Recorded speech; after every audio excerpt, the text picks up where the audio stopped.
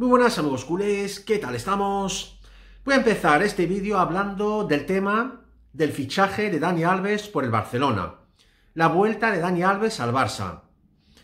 Estoy viendo últimamente en las redes sociales muchas críticas de algunos culés referente al fichaje del gran Dani Alves por el Barcelona. De que si es viejo, de que mejor eh, contratar a Iniesta y Puyol, jajaja, jojojo. Vamos a ver. ¿Es mejor ahora mismo Dest o Mingueza o Sergi Roberto en ese lateral derecho que Dani Alves? Yo sinceramente pienso que, que no hace falta entender de fútbol. Simplemente hay que tener un poco de sentido común y lógica para darse cuenta que Dani Alves en esa posición les da mil vueltas a los jugadores que tiene el Barcelona en la actualidad, que juegan o pueden jugar en el lateral derecho. Yo creo que, lo que tenemos que hacer es apoyar a Dani Alves ¿eh? y darle muchos aplausos por lo que ha hecho en el Barcelona, la historia y el currículum que ha dejado en el Barça. Es más, yo me atrevo a decir aquí Dani Alves va a cerrar muchas bocas ¿eh? a partir de enero cuando empiece a jugar. Ahí lo dejo. Y ahora vamos con el tema principal de hoy.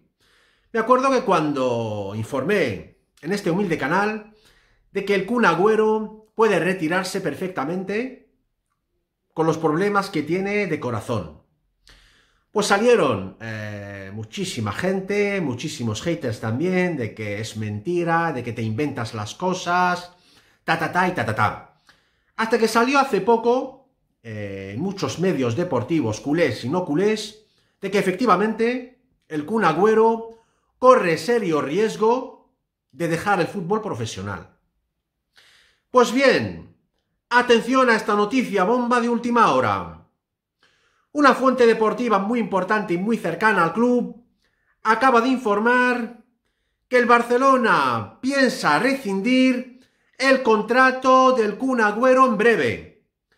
El Barça eh, cree, según esa fuente, que el Kun Agüero, pues referente a los problemas que tiene de corazón, eh, puede no estar eh, a alto nivel en el fútbol profesional y piensa que lo mejor es rescindir el contrato, pagarle obviamente lo que, lo que le tiene que pagar y es mejor que el Kun deje una ficha libre para que el Barcelona pueda fichar un delantero centro en el próximo mercado invernal, obviamente en el mes de enero. Yo sinceramente, pues no sé qué decir. Eh, muchísimos doctores están diciendo que, eh, que, los problemas del Kun Agüero eh, no es nada, no es ninguna broma, y que puede que deje el fútbol profesional. Y en este caso, pues hay que pensar en el bien del Barça, por encima de todo. Y creo que la rescisión del contrato va a ser la única solución. Y así el Barcelona, obviamente, pues va a poder fichar un superdelantero en el mes de enero.